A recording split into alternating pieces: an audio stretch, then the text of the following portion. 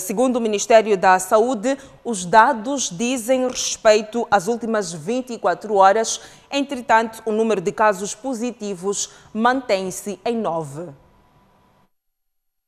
De iniciar a minha intervenção, saudando a mulher moçambicana pela celebração hoje do dia 7 de abril, uma data histórica no nosso país. A diretora nacional de saúde pública, Rosa Marilene, reiterou esta terça-feira que não há novos casos de contaminação pela Covid-19. No entanto, a responsável avançou que nas últimas 24 horas o número de suspeitos de infecção pela doença subiu de 4 para 57, assegurando que as autoridades continuam a monitorar a situação.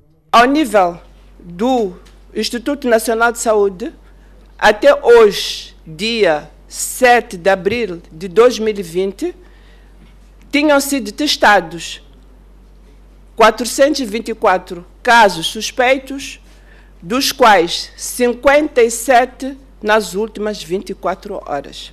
Dos 139 contactos que estavam em seguimento até ontem, 15 já cumpriram os 14 dias de quarentena e não desenvolveram nenhuma sintomatologia. Portanto, atualmente contamos com 124 contactos e acompanhamento. Por seu turno, o diretor adjunto do Instituto Nacional de Saúde, Eduardo Samgudo, garantiu que até esta quarta-feira serão divulgados os resultados das amostras recolhidas na multinacional Total, em Afuns, na província de Cabo Delgado, onde um dos nove infectados contraiu a Covid-19. Ontem recebemos o primeiro lote de amostras composto por 33 amostras. Recebemos ao final uh, uh, da, da noite de ontem, elas chegaram ao nosso laboratório em Maracuena. Iniciamos o processo de testagem das amostras e ainda não cumprimos as 24 horas que nós uh, mencionamos. 20, nós teremos resultados dentro de duas, três horas teremos os resultados destas amostras que foram recolhidas. Neste momento, a equipe que está em Cabo Delegado está em fase de término do processo de coleta das amostras dos indivíduos adicionais e esta equipe mista ela regressa a Maputo amanhã, quarta-feira, com o segundo lote de amostras. Face ao risco de propagação da doença, a Diretora Nacional de Saúde Pública reitera o cumprimento rigoroso das medidas de prevenção da doença. Gostaria de, também de sublinhar a importância de cada um de nós reduzir drasticamente a circulação.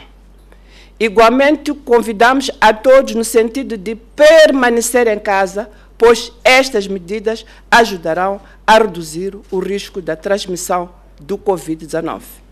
Portanto, todos também devem observar rigorosamente o distanciamento social de, no mínimo, um metro e meio em cada um de nós, onde quer que a gente estejamos, e manter-se em sua casa, com exceção daqueles que, por razões de trabalho, não possam fazê-lo.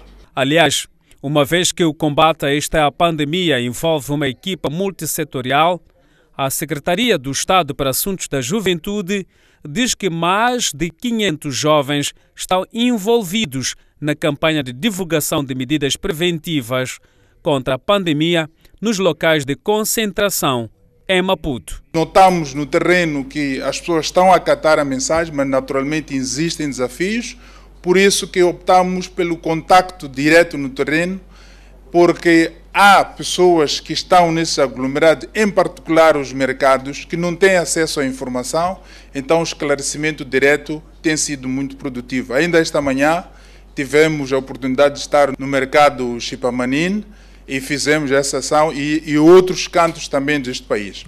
O país conta atualmente com nove casos positivos de Covid-19, sete dos quais importados e três de transmissão local uma vez que um dos pacientes encontra-se já recuperado da doença.